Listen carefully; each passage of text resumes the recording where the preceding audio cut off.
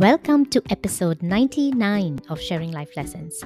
This is season 10. We are one spirit, one soul, one world, and together we are creating a library of stories and life lessons.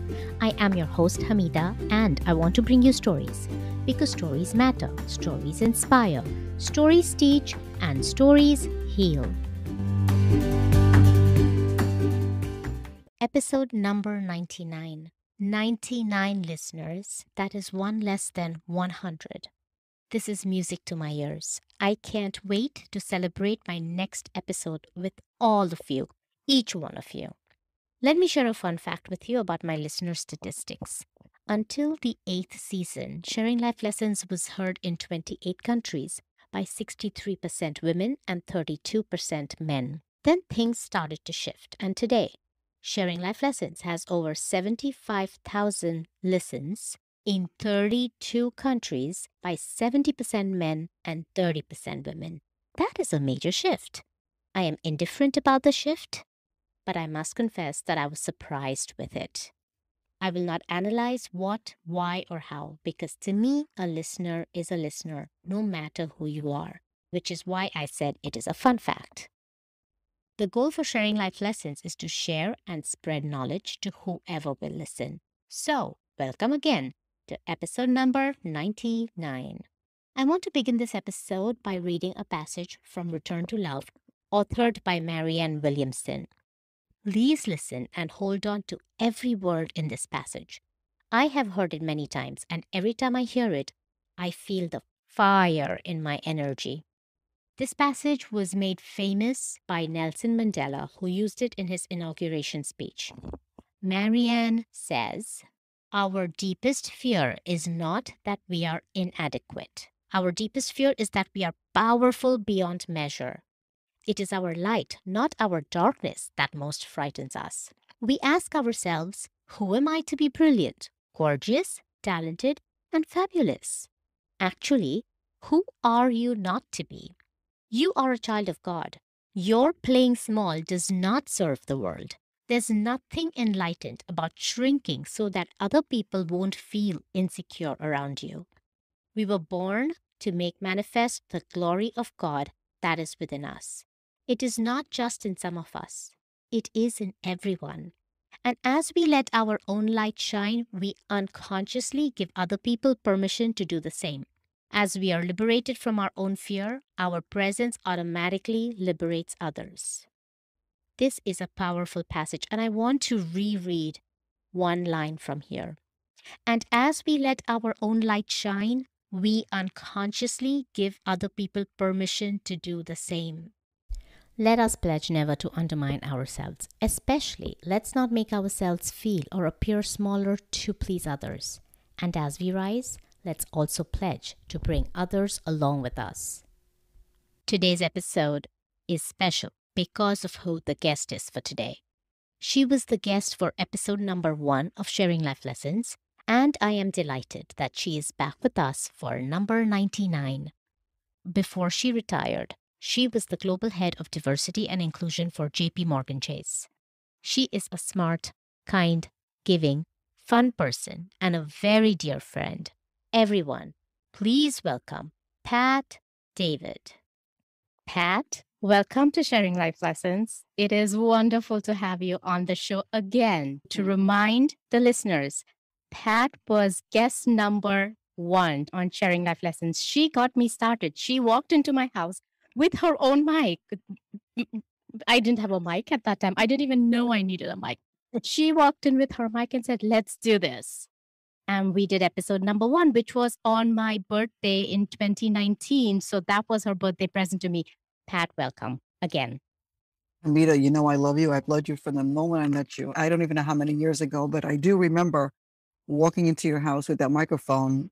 And I had no other hopes than, okay, if she can get, if she can do one, maybe she could do two. And it was just so much fun to start you on this journey and look how far you've come. So I'm happy to be part of it and I'm forever grateful for that. I'm going to be releasing my 95th episode in the 10th season today. Sharing life lessons has come a long way. Wonderful. Pat, put you on the spotlight and let you introduce yourself and tell the listeners who you are so they can connect with you. So, again, thank you, everyone. My name is Patricia David. I'll start by giving you a little bit about my background in terms of my family, my life, and then where I am today. In terms of my background in terms of life, I was born in Birmingham, England. And because my parents hail from an island in the Caribbean, it's called Dominica, which is a very small island and it's between Antigua and Martinique. When I came to this country, the whole purpose for my parents was so we don't have to share shoes, as they say the whole goal was to get an education, make something of yourself, and enjoy the benefits of the United States of America. And so that's what I keep in the back of my head anytime I do something to make sure that my parents' sacrifice was duly paid. Roll the clock forward, I got a degree at Fordham University in the Bronx. I was fortunate enough to get a job right out of college. My degree was in finance and economics with a minor in accounting.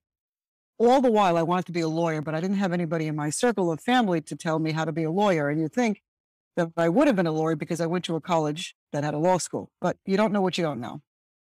I spent 10 years at Philip Morris doing very well in finance and accounting.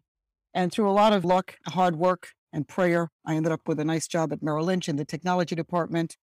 Did that for 10 years. Through another episode of my life, I was able to get another job at Salomon, which grew into Smith Barney, which grew into Citigroup. And this was all you go into work every day, you do your job, you keep your nose clean, as my mother would tell me and you kind of you're on the lazy Susan of life, so to speak. While I was at Citigroup, that's when I got my first introduction into the world of diversity. I'm 50. No, that's not true. I'm 61. I wanted to say 50, but I'll say 61. You know, I would have corrected you because I was there for your 60th birthday. you were.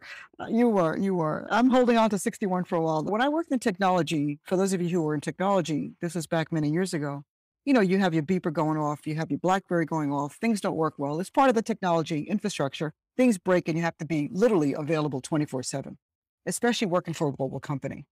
But I remember my boss said to me, it was January of 2001, I believe, and we were going through my performance review. And he actually said to me, So you've been here 10 years at the time. I was his chief of staff. And he said, What else do you want to do? And I thought to myself, Wow, no one's ever asked me that question. I, at the time in my life, like maybe a lot of the listeners, you don't think about what your next job is. You want to just do good in your current job. And so when he said that, I thought to myself, huh, okay. I've got a few seconds to answer the question. And I really didn't think about it. I said, I want to be the head of diversity. I'd like to be the head of communications or the head of any function where I could do 80% of uh, my work to impact people versus only 20%. Because the job that I had, I was lines of code, I was with vendors, I was with budgets. I didn't really interact with people as much. And I tell you, quite frankly, the diversity head at the time always looked happy. And I thought, boy, if I can do what she's got, I'll take that job because it looks like it's fun. I had no idea what the woman did, but I just thought it would be fun. We go back to our desks, and I didn't think anything of that conversation. Three months to the day, the head of HR tells the firm the head of diversity has resigned and there's this job open. So my boss, who I had what I thought was a private conversation with, mm-hmm. tells the head of HR, How about Pat David? So his first response was, Isn't she a techie? Because that's, you know, the brand. He knew me as the brand of a technology support person, oddly enough, for human resources. So I made sure that he had the right compensation systems and benefit systems and all that stuff. So I get a call from the head of HR. He asked me if I'm interested. And I said, Well, I didn't think you knew because it was a secretive conversation that I had with my boss. So I was pretty surprised. And I turned the job down three times because there was no clarity in terms of what the role was. So roll the clock forward. I ended up taking the job. I did very well in the job. And through that relationship in that job, that same boss that I now work for as the head of diversity goes to JP Morgan Chase. I end up working for him five years later as the head of diversity for the whole company at JP Morgan Chase. Did that for nine years or whatever it was. And I think I did the job fairly well. It wasn't about me, it was about the people all the people in the company. But through what I would call life, I had some bad things happen to my family. My sister had passed away, which was not something we expected. And that kind of gave me pause in my life. My husband had severe heart attack and had to have surgery. And I thought, oh, that's that's not good. And then my father was very, very sick. My mother had passed away many years before. And so I thought to myself, I have one less sister. My husband is um, his health was failing. The good news is he's okay now. And my father's health was failing, and I lived in America and he didn't. My job was in the way. So I actually quit. When I quit, I got home and I told my husband, Oh, honey, I quit today. He said, What'd you do that for? And I thought, Don't you want me to be home? I thought mm. he, he was happy. He's like, No, no, no. And I thought, Crap, I just quit. So I had to unquit. That's easy to do I had to call my boss and I said, you know that thing I just told you? I can I have a redo? Can I have a do over? He goes, yes. And I Can we forget that ever happened? I'm telling you, it is mind boggling for me that that whole thing was surreal. Now, the good news is my boss at the time didn't tell anybody, so he didn't have to unravel the fact that mm-hmm. I quit, unquit. I was a senior person. You don't do this, right? So what that told me was, look, I can't do this job effectively anymore because I needed to be home. I needed to be available for my family. I needed to take care of things that you can't put off anymore. So when I did resign, I decided to write this book only because people had been bugging me whenever I've coached them and spoken at different conferences. Hey, you should write a book. And I'm like, okay, I'll write a book. But what I really was doing is all my notes, all my speeches, I said, let me try to collect them in some sort of a thoughtful way, put them in a book, meaning a Word document, ask someone to make it look pretty, and get it out in the market so people can stop asking me to create this book, which is what I did. I had no idea that people were going to think it was interesting. I had no intention of making it anything other than getting off my to do list. And since that book has been written, other people have been uh, my advocates. Hey, I see you wrote a book. Would you mind coming to the company and do a book signing? Okay. So I go do the book signing. I talk about things in the book. And the next thing I know, hey, can you come speak to our senior leaders? And so this is just a very interesting experience for me. And it, you learn a lot when you do these things, but then I'm still making sure that my time is mine. I am not going into a full time engagement with the company. Mm-hmm. I am not going into a full time scenario. My time is still very, very important. Time is very precious. I refuse to give it up. I refuse to give it up. Pat, in your introduction, also, we are beginning to learn life lessons. Time is precious. And for the listeners in this entire story that you heard from Pat, well, your host, Hamidah, enters in her life at Citigroup. She was the head of D&I in Citigroup. I was the senior credit officer there. She was my mentor, not only my mentor, she mm-hmm. then became my friend. And then we were carpool mates Yeah. which which we can write a book about also. Oh, we used to always say that we have to write a book about, you know, that that guy that does the carpool on TV where they sing. We had stories of how women can raise each other up, how we can help each other with our spouses and our children, and what to cook for dinner, and how to be in two places at once. We really did. Five years, we commuted. There were six of us, mm-hmm. and we all had different day jobs. We all had different lives, but somehow we made those hours match, which was not easy. And there were moments when we wanted to kick someone out the car, leave them behind at the last minute. But it was a memory that we'll never forget. I have to And not only did we make the hours match, but we made the hours fun when we It were was fun. together. And at times I woke up in the morning, not because I wanted to go to work, but because I wanted to ride with these five crazy women to work. in the carpool. That was that was a joyful time. That was a really good memory. Really good memory. So, Pat, tell us your story. I'm going to tell you the one about my husband. When I was really heavy duty in my career, my husband was a Marine. We got married after I graduated. So he was not a corporate environment kind of person. He was starting to get his degree in heating and ventilation. And when we got married, one of the things that I didn't do that I regret now is you never know how far you're going to go in your career. Mm. So I never sat down with him and said, hey, just in case I become really important and I have to travel, are you going to be okay with that? You know, just in case my job has to come first and you don't come, are you going to, you know, you know, you don't know. So you don't have these conversations. Sure. And so there were moments where it was not a fun time to come home. And I realized I never put him first. Well, I didn't explain to him that on this day, I cannot put you first because he was not part of the corporate environment. So he didn't appreciate the politics you have to go through, just the way you have to work in these industries. We enjoyed the financial income and the output of that, but at what cost, right? Yep. At what cost? And so that's why when he had the heart attack, my husband probably could have died if I wasn't home that day. And the only reason I was home the day he had the heart attack, it was President's Day. We were off that day. Mm, That was a Monday. I would have literally on that day left my house at five, got him at six fifteen. I happened to be home when this thing was unfolding, and he didn't know it was heart attack. Unless you've had one, you don't know what it feels like. The next thing I know, he's walking around. I'm looking at him. Are you okay? No, not really. So I said, okay, let's go in the car. We drove to the hospital.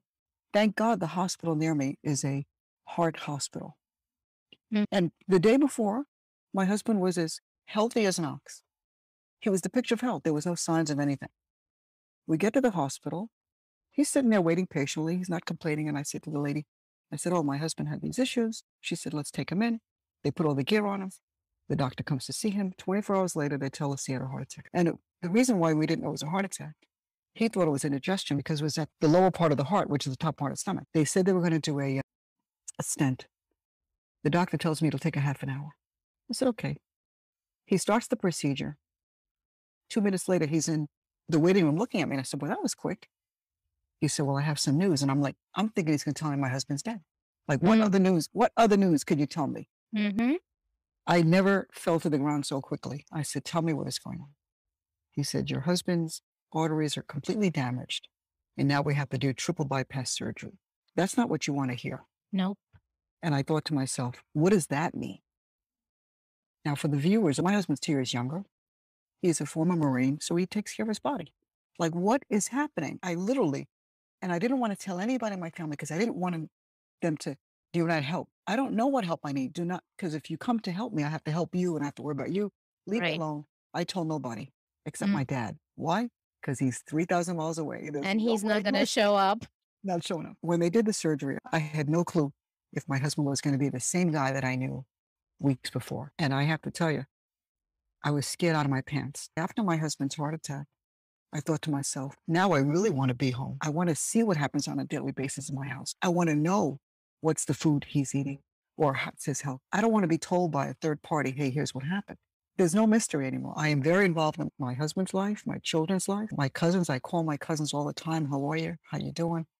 Because you can't get that time back, you know? So that's that's the health story. So because of that, I'm very careful of taking care of my health. What I eat, how I take care of my body, how I take care of my mind. One of the things that I mentioned to you when we did the first episode, New Year's Eve, I asked myself three questions, right? Mm-hmm. I ask myself those questions even more now, not just on New Year's Eve. Yeah, and for the listeners, it is a short 15 minute episode. I urge you to listen to that because, as much as it was my first episode and I didn't know what I was doing, Pat definitely knew what she was. And she's always someone with a lot of wisdom. I've learned a lot from her. Like I said, she was my mentor. She's got me out of a lot of hot soup.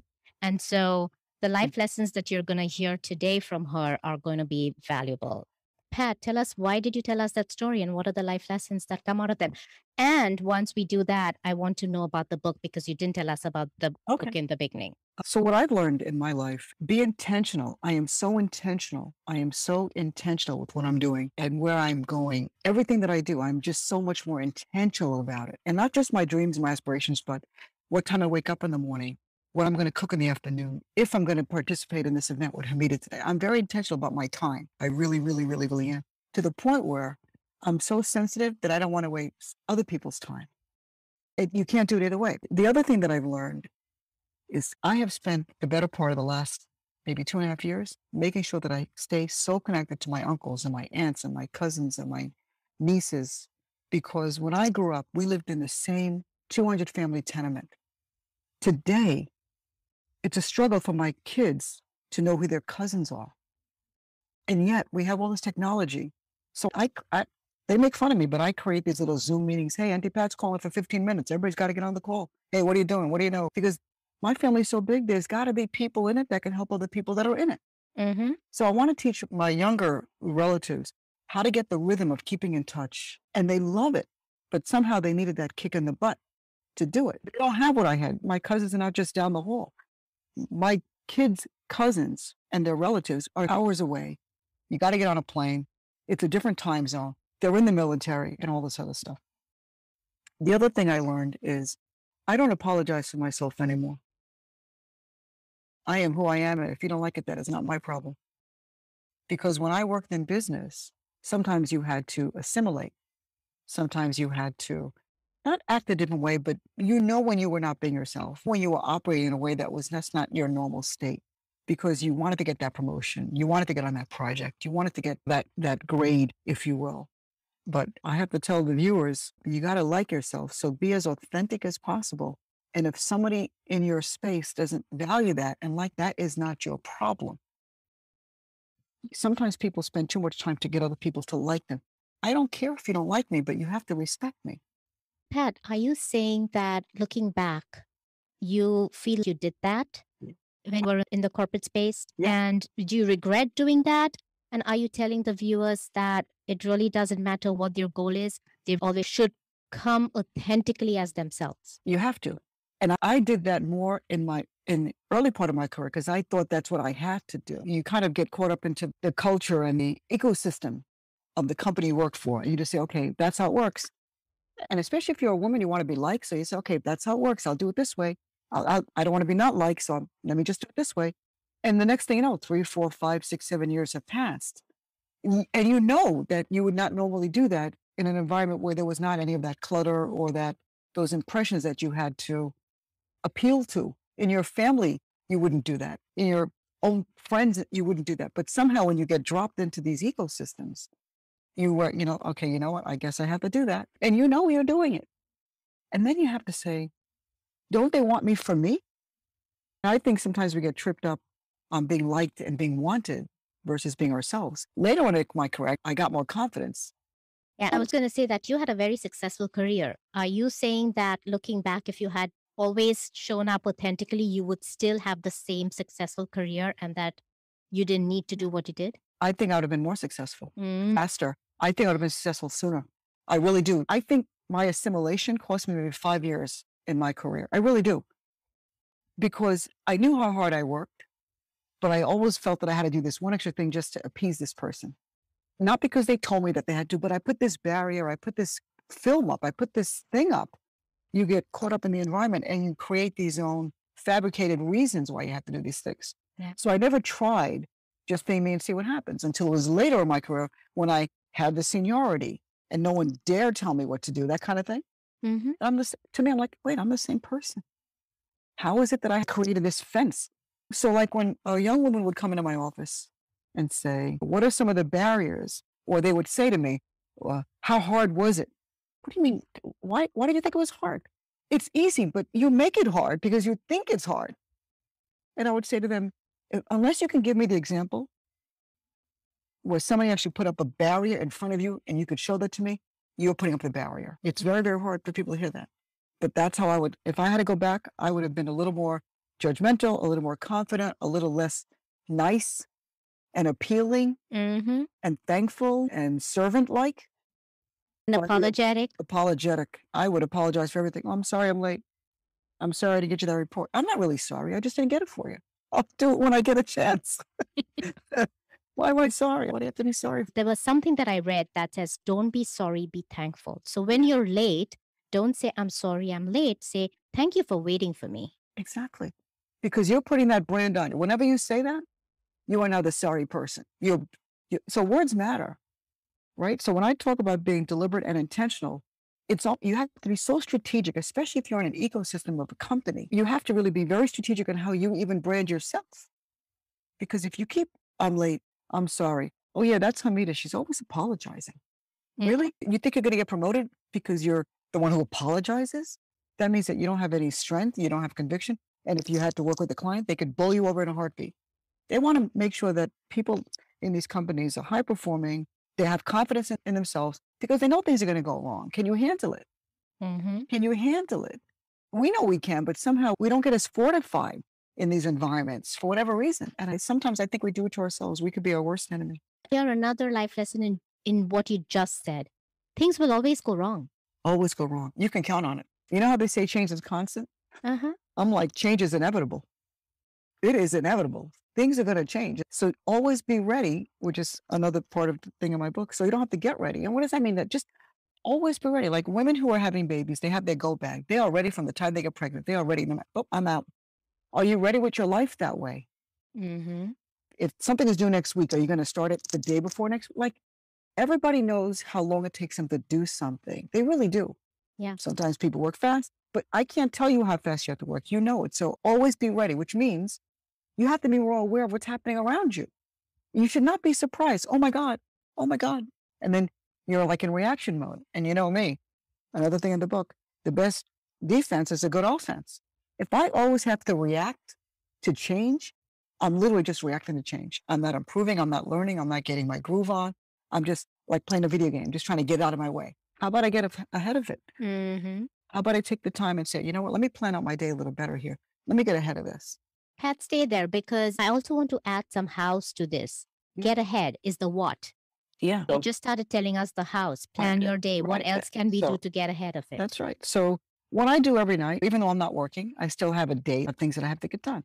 So every night before I go to bed, what I do, everything on my calendar gets done. That's how I keep myself in order. And so I look at my calendar last night say, okay, fine. At 7:30, I wake up from mass. I got to go to mass this morning. And then when I get home, I have to call my cousin. If I think about what that means with my cousin, that's about a half an hour. I know I have Hamidah at two. So I set it in my watch at 1:45, get ready for Hamidah.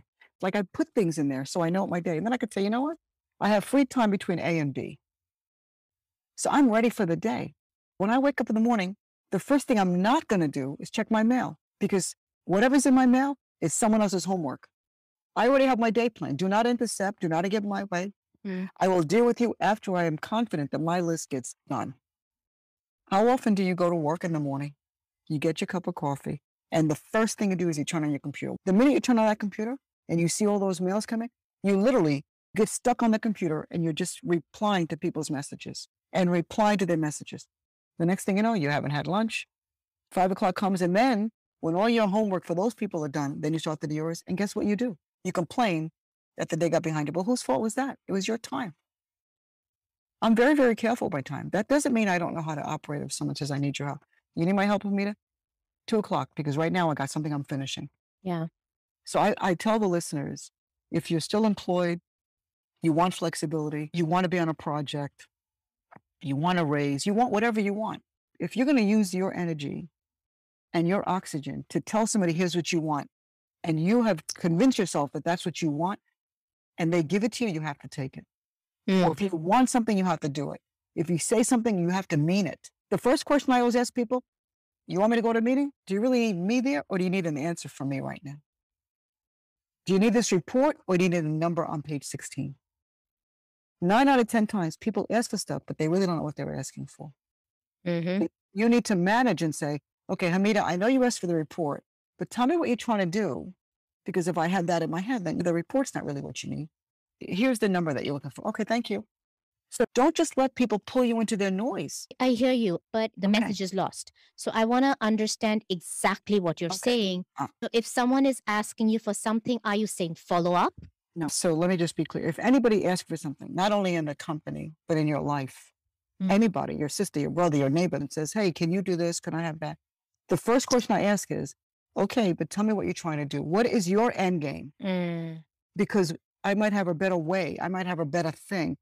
Don't just fall into responding. Don't just be on the lazy Susan of life. Mm. And I'm not saying we should challenge people because I don't want it to be like you're debating and fighting, but take a moment to just ask, what is their end game? Yeah. Because then I can respond as, oh, that's what you want to do? You know what? Here's a better challenge. Here's a better answer. And maybe I'm not the right person. Maybe you should speak to Susie. But if you just respond, what you're creating is this tail where they'll find out that they need more and more and more and more. And you've already got sucked into their list of things and now you become their to do. No. Yeah. There's something in the book. It says, uh, don't go to work to work, go there to network, which means I would say to people, try to get whatever you were expected to do done as quickly as possible so you have more time to think, to talk, develop relationships. Don't get caught up with just doing the physical part of the job. That's not how you grow. Very true. Right?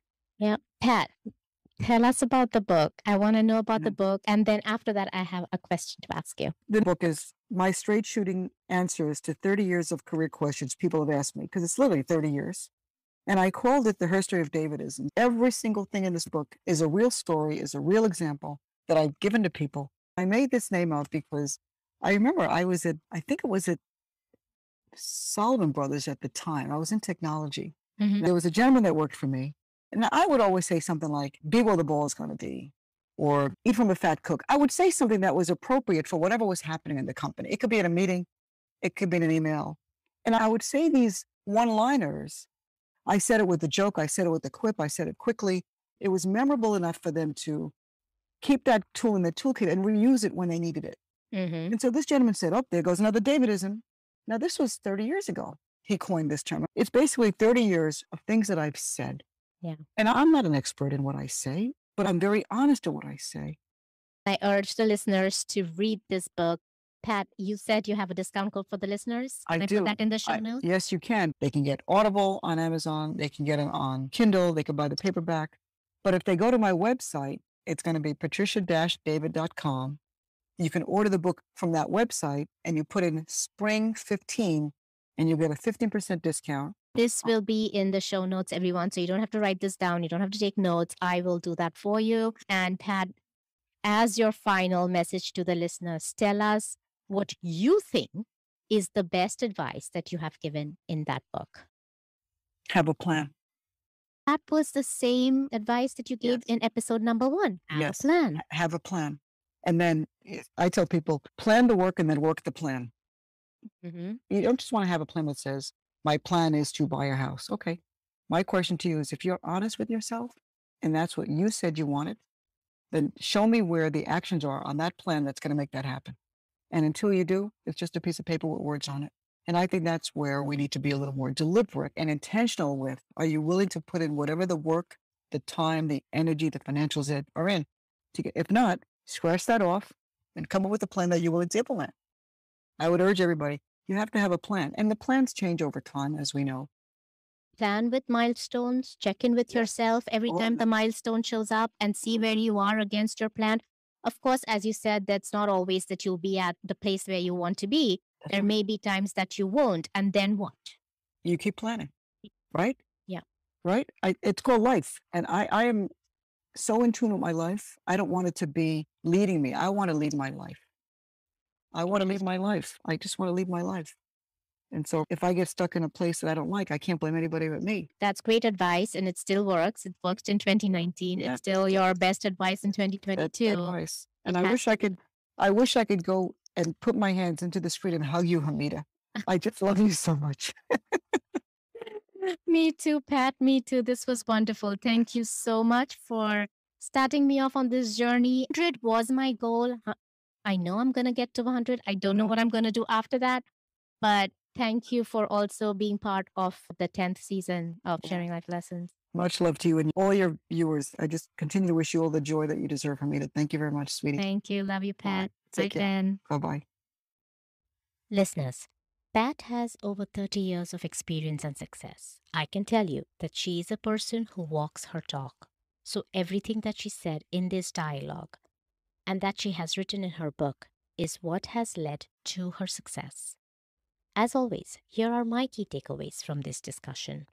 1. Time is precious. You can't get back time. So make your choices about how you use your time. Be intentional with what you're doing where you're going, who you are keeping relationships with. Don't get sucked into things you don't wish to do. You are free to choose how you use the precious, limited, and unpredictable time you have left on earth.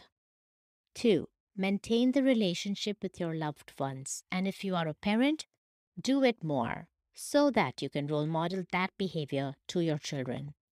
3. Stop apologizing for yourself. Be as authentic as possible. Sometimes people spend too much time and energy to get other people to like them. Pat told us that she fell into that trap too, and that her pleasing others attitude cost her five years of her career. If she had shown up authentically earlier, she would be successful sooner. Listeners, this is what sharing life lessons purpose is. It is to learn from others who are willing to share so that you don't have to waste your five years. Others have already done the work for us and taken the pain so that it gets simpler for us. Let's capitalize on this knowledge. 4. Things will go wrong. They always do. Thus, always be ready. If not, we will be in a consistently reactionary mode.